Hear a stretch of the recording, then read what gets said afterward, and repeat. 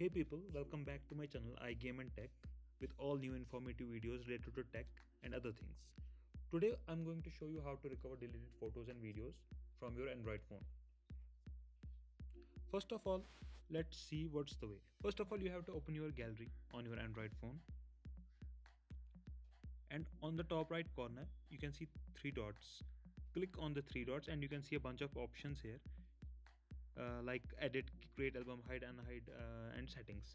So you have what you have to do is go to settings and then you can see the first two options samsung cloud and cloud recycle bin.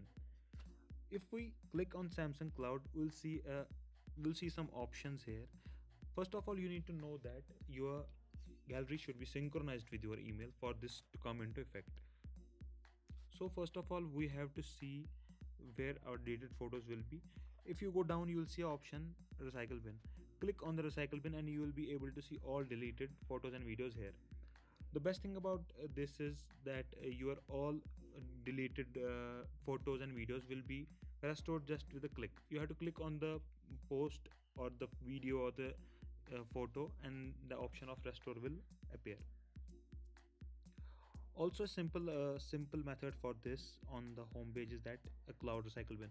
You'll click on the cloud recycle bin and you'll be able to see all your deleted photos and videos that you had deleted in the last 15 days.